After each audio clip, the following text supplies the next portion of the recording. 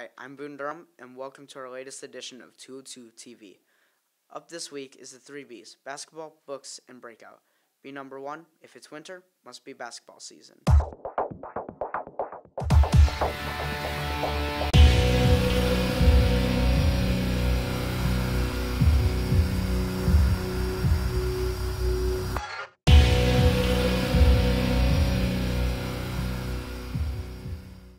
The girls' basketball team is led by three seniors, Bree Haight, Bailey Baldoff, and Lily Sherlow.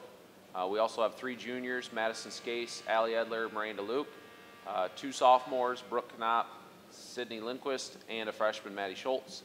Uh, currently, we are two and three on the year. Uh, we played in the Morrison Thanksgiving tournament. Uh, we went two and two. We beat West Carroll and Galva, and we lost to Orion and Morrison. We also played a non-conference game against Forreston, in which we lost by one in overtime. Last year, uh, we had two really good seniors, and uh, we had a lot of senior leadership, and Bree and Bailey as juniors were big uh, parts of the team as well. Uh, this year, we're really young. I start two sophomores and a freshman.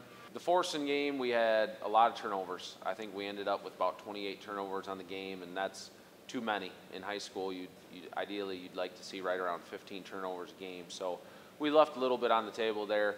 I thought we played hard the entire game. We had some shots that didn't fall, but the girls did a great job of coming back and fighting back. Last year, we ended the regular season with only seven wins, and then we went on a hot streak there during regional week, and so we ended up with 10 wins. I think this year we'll be able to exceed our season win total. Uh, as far as regional goes, that's a year by year case. Uh, it, it'll all come down to matchups that last week and what team's hot. Hopefully, we peak at the right time like we did last year. One thing Le-Win schools do well is emphasizing the importance of books and reading. Let's take a look at the elementary school book club. This is the fifth grade book club, and I also do one with fourth grade. The students are chosen by their teachers, and they are known for liking to read good books. So we're delving a little deeper into a book. We meet once a week, and everybody has a job to do as far as what they want to present to the to the group and tell a little bit more about what they've learned. We also started a blog, and they can comment on the blog and and do a little more insight as far as finding evidence from the story to support their answer in the blog. And we're trying to get them go a little further on the blog and comment on somebody else's comment. See if they really like something that somebody else said and maybe get a conversation going. So, uh, the book we're reading now is The Paper Cowboy, and uh, it's a good book. Camden, take the floor. it's, it's a pretty good book. It's a good book. Okay. Yeah, I'll go.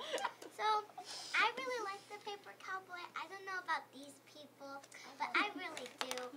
And I, I would recommend it to all those people out there to read the paper cowboy. Yeah. So, All the hi people out there.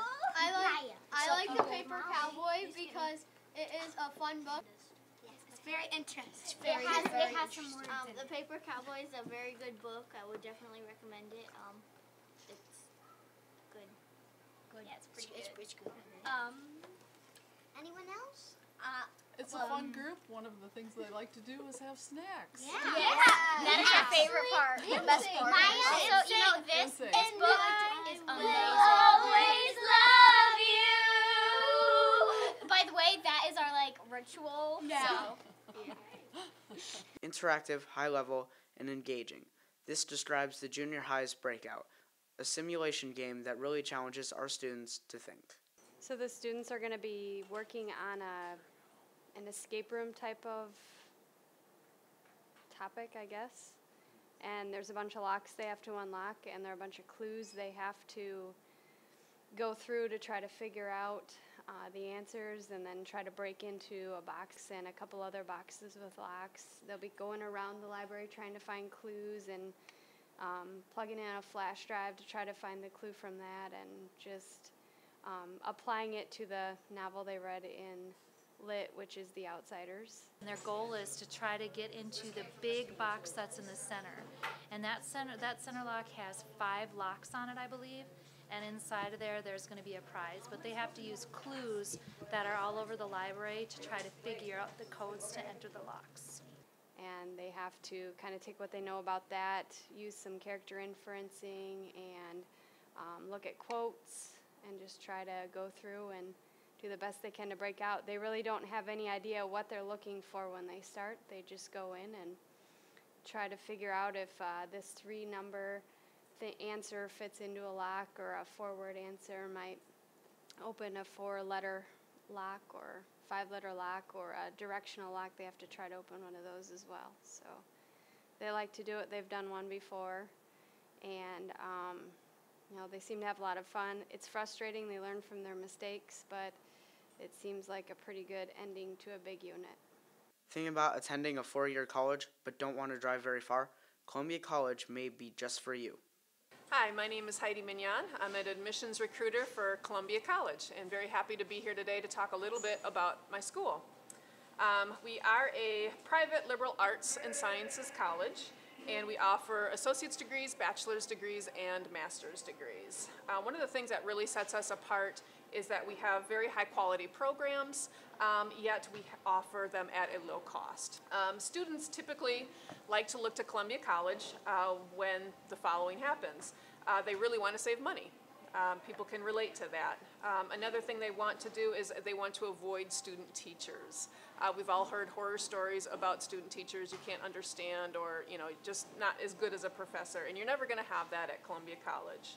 Uh, some of the differentiators that you're going to find with Columbia College are, uh, and again, we mentioned save money. Uh, some of the great things we have is called fixed tuition. What that means is whatever tuition you start with, we're going to lock in that tuition for the next five years. You are not going to have to worry about your tuition going up for the next up to five years. Uh, we don't have out-of-state tuition fees. We are located in Columbia, Missouri, but um, everybody pays the same no matter where they live.